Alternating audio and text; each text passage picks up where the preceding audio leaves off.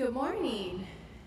Um, for any of our new students who may have not met me yet, my name is Tatiana and I'm one of our campus pastors. And so I have the privilege to um, introduce our morning speaker. But before I introduce our speaker, I want to just commend and encourage this community. As someone who's called to care and pray for you and cover you and support you in any ways that I possibly can, it's been amazing to see this community support each other this week. And so just letting you know that you've encouraged me by seeing how you've loved one another so well this week. And so I want to continue um, to encourage you to look out for each other the remainder of this school year. Let's look out, let's ask for spiritual eyes for us to just be sensitive to the needs of this community. So, with that being said, um, our morning speaker is one of our associate professors of communication studies. Yes, and Starla Anderson, she has uh, experience as a trial consultant and as a prosecutor. And what she's going to do this morning is bring the word and a timely word. And we're going to see how God's placed this provisional word in her heart over the summer for such a time as this. So, can we give a Friday morning welcome to Starla Anderson?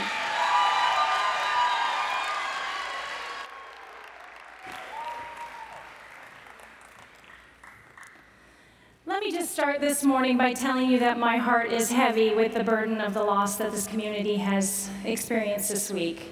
I know many of you have lost a dear friend.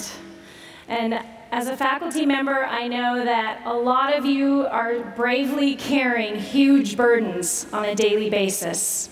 And what I want to tell you this morning is that we see each one of you in our classrooms. College is both exhilarating and exhausting. I'm sure you have already experienced that, even if you've only been here for two weeks.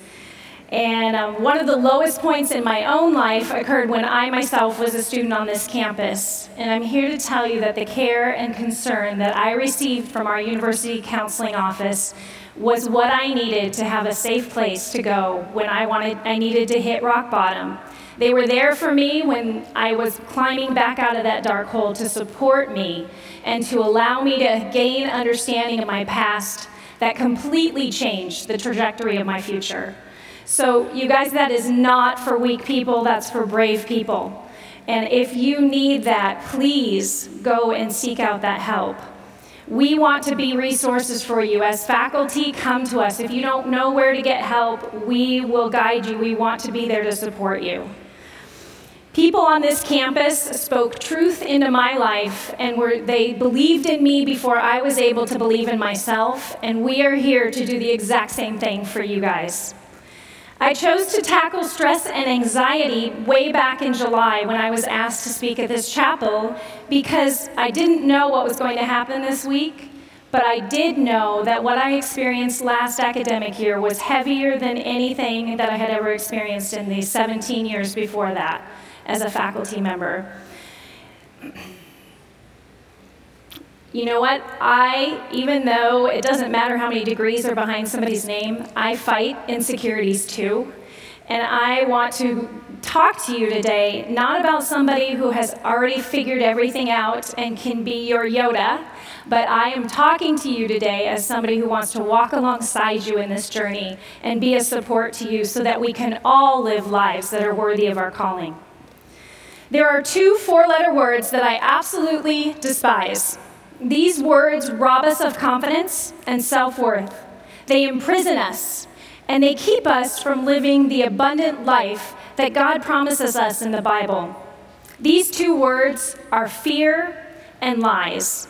Fear cripples us from pursuing opportunities when we dismiss those things because we believe the lies that Satan tells us. We often make excuses for our lack of self discipline and allow those excuses to cause us to live frenetic lives that add to our stress levels, that make us feel like we are the only ones who are behind the eight ball. The enemy is at work in this, but I have to tell you that we um, contribute greatly to his efforts by our own poor planning as well. Simple little things can change the quality of each of your days. Simple things like replace that toilet paper when you get down to the last six pack rather than the last square so you don't have to run to the kitchen to grab paper towels. Or treating your gas tank like it's on empty at a quarter of a tank rather than E so that you will not find yourself late for class because you're stranded on the side of the freeway. Another thing you can do is ration out your reading and your work once a week so that when something comes up that you didn't expect, you are not caught off guard. All of those things are things within your control to reduce your anxiety. Another stressor I've encountered just this week is what am I supposed to major in? You, you think that that is going to determine that one decision dictates the rest of your life. That's not true. I'm here to tell you some of you know exactly where you're headed, others of you are still open. But God knows where you're headed. You do not need to fear the unknown. My education was completely not traditional. So I knew I wanted to go to law school, but I got there by a double major in music education and communication studies with a political science minor. That is a mouthful. So what I didn't know, what at the time I thought that was really random, but God was orchestrating my life with the precision and beauty of a Renoir. This French Impressionist painter captured a path leading somewhere to something absolutely gorgeous, but you can't quite exactly make out what that end destination would be. I'm grateful for the two years and 16 units of music theory I needed because being a choir director and worship leader throughout grad school and law school helped pay the bills. It again supported me when I chose to leave the legal profession and be a, a stay at home mom for a period of my life. I'm still using that knowledge to this day because I have a very emotional 16 year old who's at a performing arts school and is constantly in tears over music theory. Who would have guessed that? I married a politician and I practiced law. I thought communication was just for my own profession, my own benefit, but it actually was used professionally on countless occasions. And who would have known that I would now have the opportunity to passionately impart these concepts to equip and empower students to engage in their own transformational scholarship? None of that was random. God knew exactly what He was preparing me for, and I am confident He knows exactly what He is orchestrating in your life as well. Last year, you heard my colleague, Dr. Davis, speak to you about the theology of work. She encouraged you that our work is God given, it's God blessed activities that provide opportunities for us to redeem a fallen world. Pursuing excellence in that work is an expression of our identity in Christ, and it provides us with opportunities to glorify Him, bringing us all a true sense of satisfaction. Her phrase, do darn good work, became so popular, I saw it on some keychains. Last year, I, um, I, I want to now add to that thought by exploring what does it look like to live daily in an abundant manner. So here's the mantra I want you to embrace. Through Christ, you already have more than enough to accomplish your goals this year as you embark, embark upon a new semester and academic year. To do that, I want to look at John 10, 9, and 10 to explore three aspects referenced there that I'm going to have you remember by define, time, and align. I want you to define or define for you what abundant life looks like, tell you the timing of when that begins, and then show you how aligning yourself with God, who I'm going to call our pack leader this morning, gives us tenacity or mental toughness to make our work sustainable so that we can truly believe we have what it takes to be capable of accomplishing those tasks that He has preordained for us to accomplish. John 10, verse 9 says, I am the door. If anyone enters through me, he shall be saved and shall go in and out and find pasture. The thief comes only to steal and kill and destroy. I came that they might have life and they might have it abundantly. Abundant life is defined by Ed Stetzer in his 2015 Christianity Today article this way Abundant life is not about what we have, it is not about what we get, it is not about what we claim. Ultimately, abundant life is about what we receive as a gift from the Lord and to live knowing that we are stewards of those blessings. At the end of the day, perhaps this is how we know if we have abundant life when we have shared our lives with others. when we have enough of the blessings of God, His mercy, His peace, His love, His grace, His wisdom to share with others, and actually do it when we have those opportunities, that's when we can have truly abundant life. Now that you know what it is, when does it begin, and how does that relate to what you do for your work? Let me tell you, it, abundant life does not begin once you receive your first professional paycheck. The day you were, you were hired, the day that your acceptance letter from Azusa Pacific University landed in your mailbox. You are on the job today. Are you conducting yourself that way? What kind of characteristics do you want others to see in you as a working professional?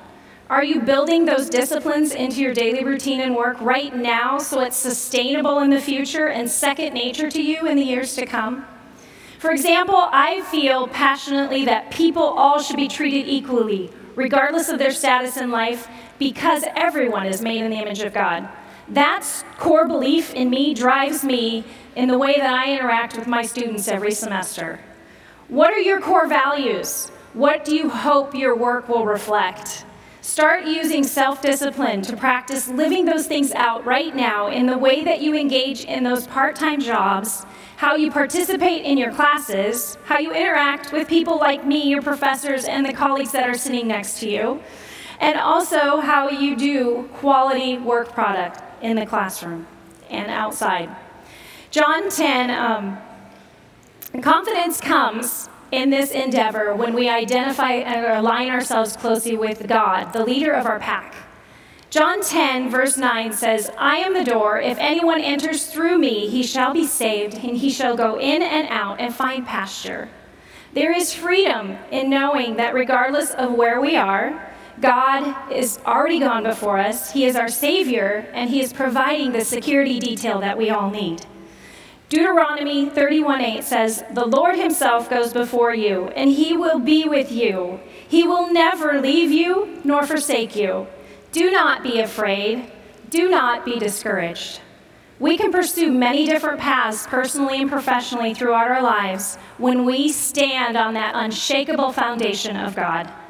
Our relationship with Him provides doors and opportunities to use our gifts and knowledge to be a blessing to other people. I had an opportunity in a very strange way to embed this deeper into my uh, knowledge that I met a Labradane this summer. So please meet Dexter. Yes, he was caged up at the Upland Animal Shelter, and we decided that we would take him home. Because he's only a year old and he's extremely large, we book, quickly booked a, a dog trainer. Upon his arrival, Mr. Belmonte spent five minutes in our entry challenging and sizing up our two dogs. He then informed us our problem was not the 65 pound Labradane. Our problem was Mia, the 13 pound white Maltese Schnauzer that had been running our household for the past eight years.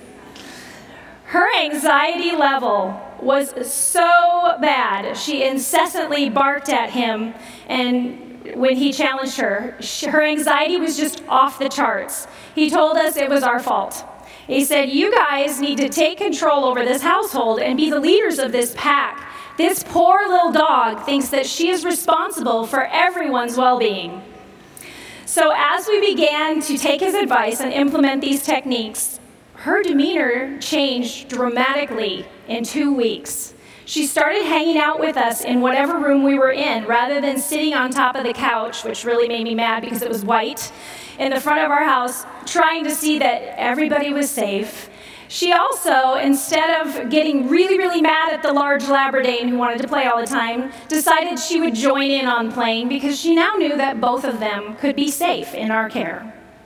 Watching this made me question some deep um, issues in my own life. Am I seeking out time with God and connection with my master as desperately as these two dogs aspire to be a part, a secure part of my family's unit or pack? Do I seek diligently to please him and have uncontainable excitement and joy when I get the opportunity to spend time in his presence? The dog trainer also said, hey, these dogs cannot think on your level, so quit treating them like humans, they're animals. And again, I was like, oh my goodness, that is me. I think that I can understand what God's doing, and it's just not possible. I'm as limited to, in His ways as they are to ours. 1 Corinthians 13 12 says, Now we see things imperfectly, like puzzling reflections in a mirror, but then we will see everything perfectly, with perfect clarity. All I know now is partial and incomplete, but then I will know everything completely, just as God now knows me completely. Here's the bottom line, guys I don't have to know how everything fits together today, and neither do you. We just need to follow the Savior's lead and trust that He is protecting us. I need personally to rein in my tendency to pursue perfection at a frenetic pace and instead seek perspective that only God can offer me in the midst of unknown circumstances. When I relinquish that control, I can be at peace, much like Dexter and Mia hanging out with me in my office while I was preparing this talk for you this morning. When we stay close to God, the leader of our pack, we get to relax like that. Security is reflected in this concept of pasture. Our work can't be sustainable if we don't include with it periods of time of rest in the, or time in our pasture. Growing up on a farm, our cattle grazed in grassy fields marked by electric fences and barbed wire. The cows had a lot of freedom if they, and they were safe if they stayed away from the perimeter of the property. In my research on cows, I learned they're inclined to walk the fence when they have fear induced anxiety. They would find themselves facing what I would like to call this morning the triple P if they got too close. That is, they would find themselves in pain producing predicaments if they tested the boundaries. If anyone has ever had an episode with electricity, you know it is not pleasant. But I had to test that for myself, and I will never do it again. The goal of the farmer is to exert strong leadership such that the cattle remain calm and relaxed. According to Hibbert and Hanetau's online article, farmers are successful when their animals are grazing in random orientation, some lying down, and none of them wanting to walk off. They say if we can learn how to settle our cattle properly, they will be happy and content where they are, and they won't walk the fence. Our poor Labradane Dexter is still working on finding that level of contentment at our house. this is Dexter trying to escape the yard, encountering the nasty Triple P. After a week of limping around, looking depressed and pathetic, a vet visit, and two prescriptions, I'm hoping he's a fast learner and knows that the security of the boundaries of our yard are there for his safekeeping. Just as Dexter was likely suffering from fear induced anxiety when he was left alone on the side yard, we experience anxiety as well and isolation often when we attempt to accomplish our tasks apart from God. We cannot do good work if we are paralyzed by fear. 2 Timothy 1 7 says, For God has not given us a spirit of fear, but of power and of love and of a sound mind. We can quit walking that fence when we learn how to settle so our anxiety decreases, allowing room for our joy to increase. John 10:10 10, 10 says, "The thief comes only to steal and kill and destroy. I come that they might have life and might have it abundantly." I believe Satan is busy at work trying to debilitate many of us with fear. Francesca Battistelli captures this concept well in the lyrics of her breakup song. She writes, Fear, you don't own me. There ain't no room in my this story. And I ain't got time for you telling me what I'm not. Like you know me? Well, guess what? I know who I am. I know I'm strong and I'm free got my own identity. So, fear, you will never be welcome here. There's no room for you here. I've had enough. The no vacancy sign on my heart is lit up. Goodbye. Goodbye, fear. You will never be welcome here. It takes strong self discipline to consistently fight against our fallen human natures to live that kind of an abundant life. That if we do, we can too can bear the fruits of the Spirit that Jesus modeled so well for us. When we run at a frenetic pace, we tend to miss God's blessing, such as community and peace.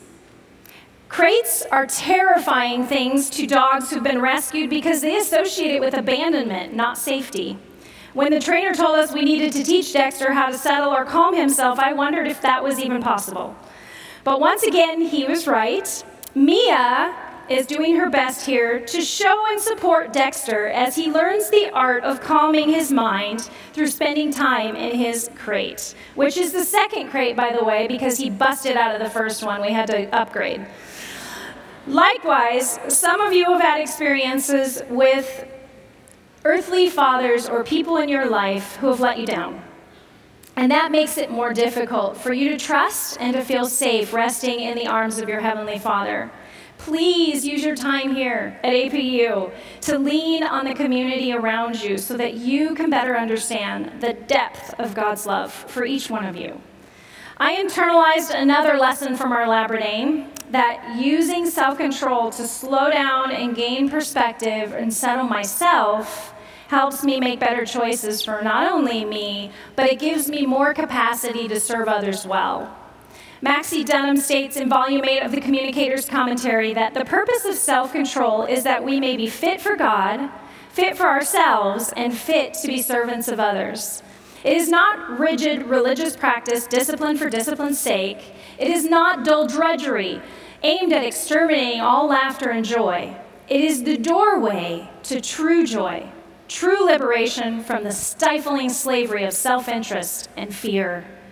The sheep referenced in John 10 are able to go in and out freely because they feel safe knowing that their shepherd is there and guiding them to safe pastures. Similarly, we need that rest and opportunities to restore our souls on a daily basis to settle ourselves so we don't run out of steam in our work and stray from our master. Psalm 29:11 says, "The Lord gives strength to his people; the Lord blesses his people with peace." After 22 years here at APU, I'm quite familiar with the patterns of the academic calendar. We all start out energetic and ready and eager to dive into our classes, and then the stress of midterms and projects starts to build, and that causes us to limp into finals and then finally breathe a deep sigh of relief when it's all over we convince ourselves that we don't need to rest during that time because we can go to the pasture during Christmas or summer break. What would it look like if we stopped the madness and we began to change this pattern on a daily and weekly basis so that we could build reserves to weather those busier times a little better? Do you guys have a pasture? Where do you go to rest and put things in perspective? My, one of my favorite places is driving up to Mount Baldy and pulling at the little, going to the pullout and looking at the city lights below. When I'm in the valley, everything seems so big, but up there, so tiny.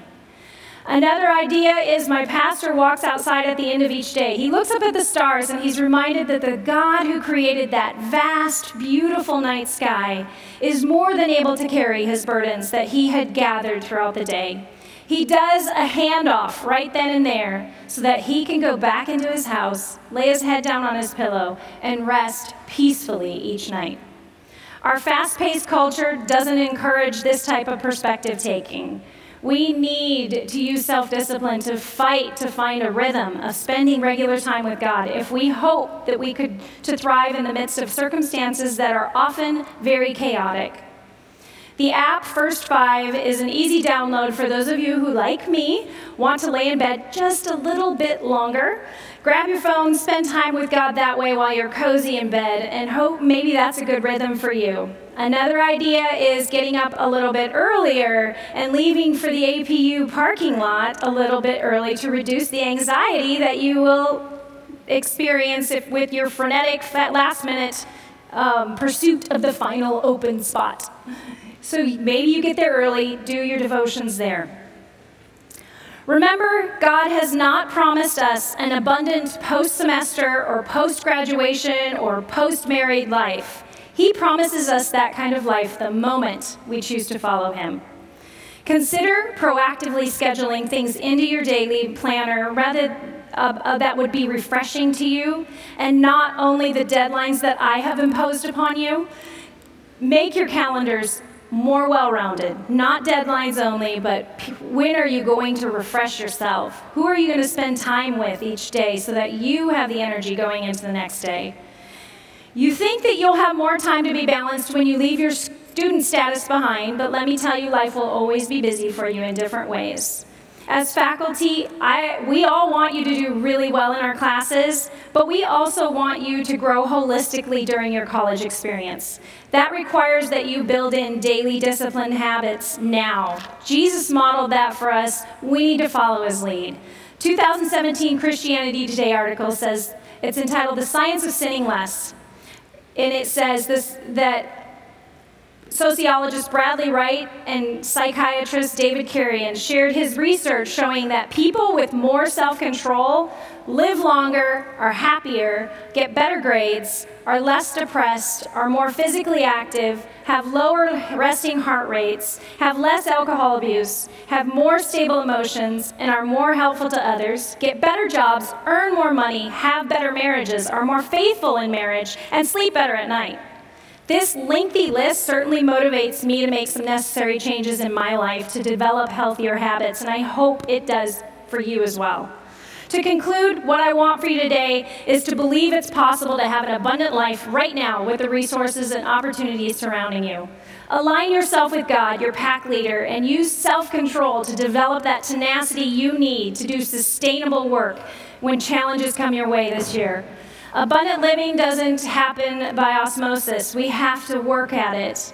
Slow down, find ways to be grateful, choose an abundance rather than a scarcity mindset. Make a joy list. What makes you happy each day? Is it a warm beverage, a soft blanket, a hug from a friend, or holding the hand of someone you love? Find and memorize scripture that replaces your fears that are threatening to derail you. My daughter was certain that she was going to be abducted from her bed when she was little, so Psalm 4:8 went on her nightstand. It says, "I will lie down and sleep in peace, for you alone, Lord, make me dwell in safety." Seek out resources if you need help developing these patterns. Let's go back to the painting. I want you to strive this year for perspective, not perfection. If you fixate on one aspect of this piece, you miss the work as a whole as the artist intended.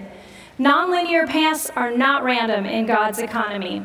We can invest in or navigate different seasons of our lives knowing that He is working all things together for our good, even though we can't clearly see the end destination.